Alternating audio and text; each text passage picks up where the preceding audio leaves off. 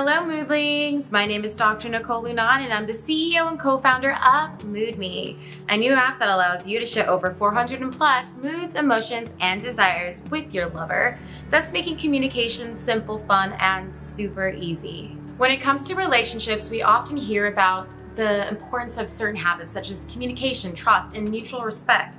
However, there are some habits that may seem bad or counterintuitive, but are actually quite beneficial for a relationship. For example, spending time apart, having disagreements, and even acknowledging your attraction to others can all promote a strong connection between partners when handled in a healthy way.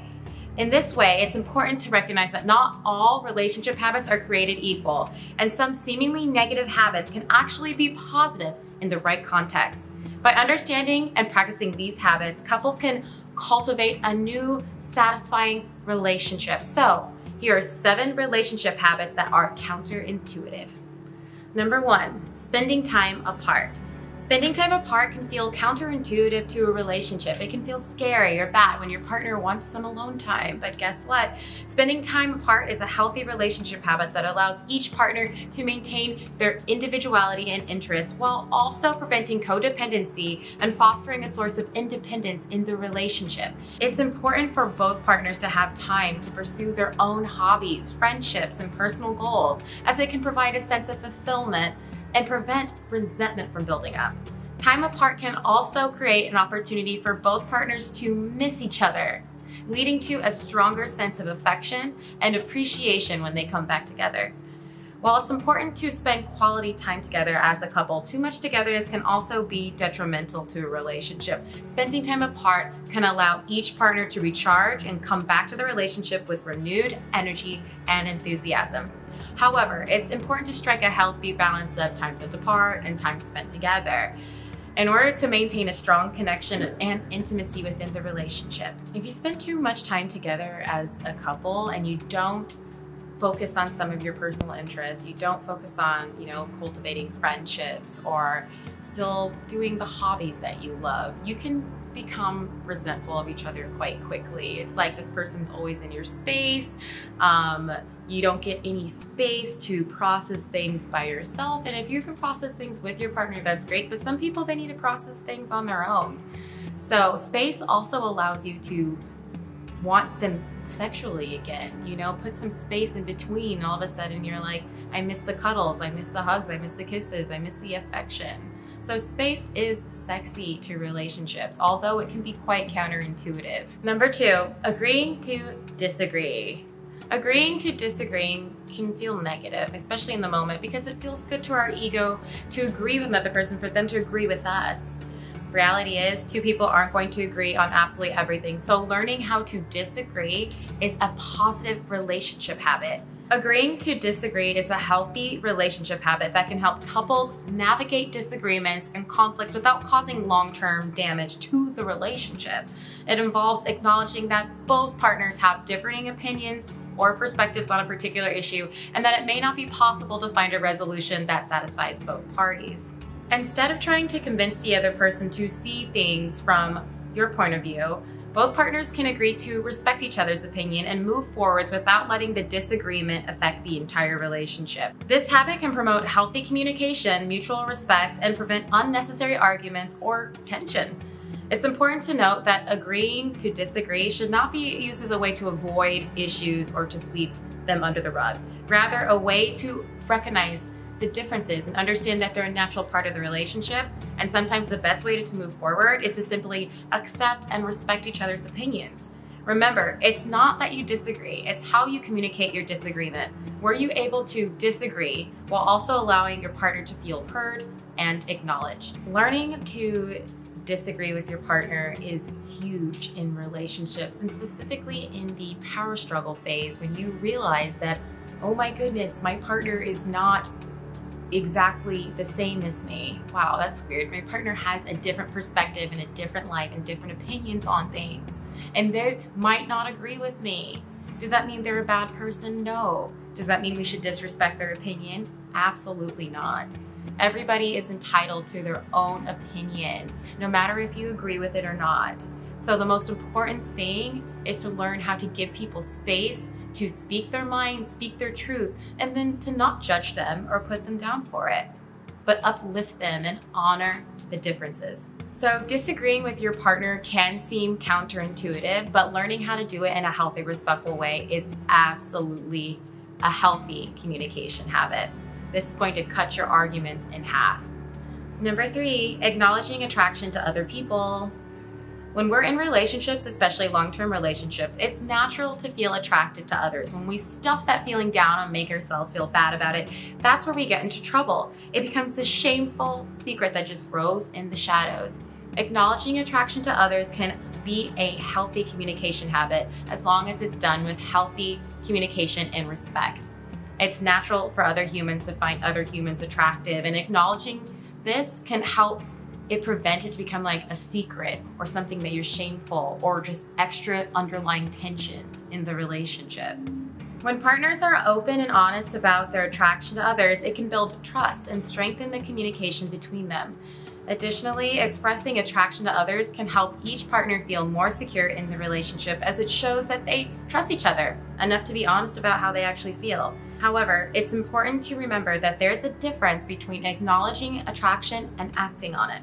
While it's okay to find other people attractive, it's not okay to act on these feelings in a way that would violate the trust or boundaries in the relationship. By being open and honest about their attraction to others, partners can create a safe space to discuss their feelings and prevent them from becoming a source of distrust and tension within the relationship. Something strange happens in relationships where we deny that we have attraction to other people. We might shut that door, but if you're in a really long term relationship, uh, attraction to another person is going to happen at some point.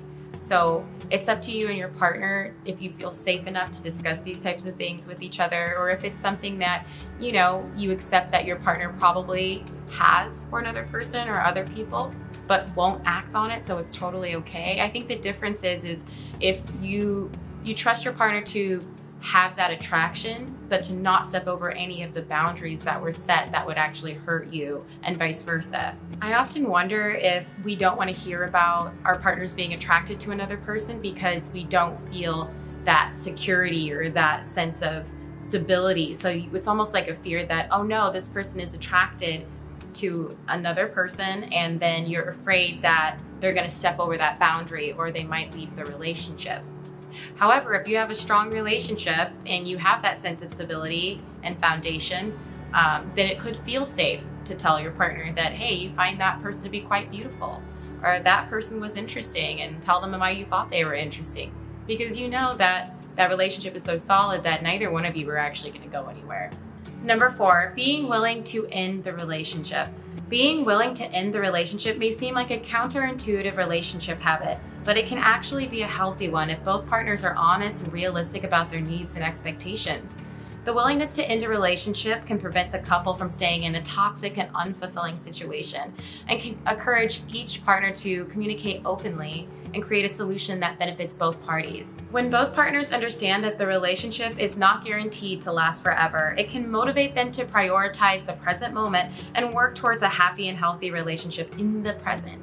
Additionally, the willingness to end a relationship can prevent codependency and attachment issues from developing because both partners are aware that they have the, the power to take over their own choices and their own happiness. However, it's important to remember that the willingness to end a relationship should not be used as a way to manipulate or control the other person. It's important to approach the topic with empathy and respect and to work towards a solution that benefits both partners, whether that means staying together or going their separate ways. Who here plays relationship chicken? Relationship chicken is when both people kind of know they should end the relationship, but nobody wants to end the relationship. And, you know, it can lead to a lot of toxic situations, like staying in a relationship that both parties know is not working, but they're afraid to be alone or they don't want to go through the discomfort of breaking up. So, actually, having the willingness to end a relationship in a really mature way is a healthy communication habit. Number five, accepting your partner's flaws. Especially to perfectionists and fixers, accepting your partner's flaws can feel counterintuitive. You may want to try and change or improve your partner, and that would be the opposite of accepting your partner's flaws. Accepting your partner's flaws is a healthy communication habit that can promote unconditional love and acceptance. Nobody's perfect, and it's natural for partners to have different habits, quirks, personality traits that may be frustrating or challenging at times. By accepting each other's flaws and imperfections, partners can create a safe and supportive space where they can be their true self without fear of judgment or rejection. However, it's important to note that accepting each other's flaws doesn't mean tolerating abusive or disrespectful behavior. It's important to set clear boundaries and communicate your needs in a respectful and assertive manner while still maintaining a sense of compassion and empathy towards your partner. Number six, being willing to hurt your partner's feelings. Being willing to hurt your partner's feelings may seem like a toxic relationship habit, but it can actually be a healthy one with done with good intentions in a respectful manner. There may be times where a partner needs to have a difficult conversation and express their true feelings, even if it may cause temporary discomfort or hurt. It's important to approach these situations with empathy and care and to avoid using hurtful language or personal attacks. Being honest and willing to have difficult conversations can ultimately strengthen the trust and communication in a relationship as long as it's done in a constructive and respectful way. Additionally, avoiding confrontation or withholding important information can do more damage in the long run. So, being willing to have these hard conversations can ultimately be a positive habit and a healthy relationship. We can't go through our relationships not willing to hurt the other person's feelings. That would mean that we are people pleasing. We're trying to please the other person, and that which way we're being dishonest about our own feelings, our own emotions, our own things that we don't like, and the other person can actually feel that. So you could be nice to the other person, meanwhile having this kind of passive aggressive undertone about something you didn't like. Of course, they can feel that. And it makes them confused about your behavior and your words because your energy and your words aren't matching up. So we have to be strong and have courage and be willing to say some things that, hey, may not feel good for your partner to hear, but you cannot go through your entire relationship only wanting to make your partner feel good because you will then sacrifice your sense of self. So, yes, it's a healthy relationship habit to be willing to say things that might hurt your partner's feelings if that will leverage your relationship in the long run. And lastly, number seven, prioritizing personal interests. Prioritizing personal interests can sometimes feel counterintuitive to nurturing and growing the relationship. Sometimes we pour all of our energy into the relationship and we abandon our personal interests. However, prioritizing personal interests is a healthy relationship habit that can promote personal growth, fulfillment, and prevent codependency in the relationship. It's important for partners to have their own hobbies, passions, goals outside of the relationship as it can prevent them from losing their sense of identity and independence. When partners prioritize their personal interests, it can create a sense of excitement, positivity within the relationship, as each partner has something new to bring to the table, and new stories to share with each other. Don't give up on the things that you love because you fell in love with somebody else. I'll repeat that. Don't give up on the things that you love because you fell in love with somebody else. You should always maintain your sense of self. And one of the biggest ways to do that is to always make space and room for your personal interests, your personal hobbies, your personal friends. Your partner fell for you when you were in your independence, right? So maintain that independence. Bring in something new to the table. If you do everything together, what newness are you going to have to bring to the table? You have to go out and experience the world on your own a little bit so that you can grow and you can give your partner space to grow. And when you come back at the dinner table, you have something fun and exciting to talk about.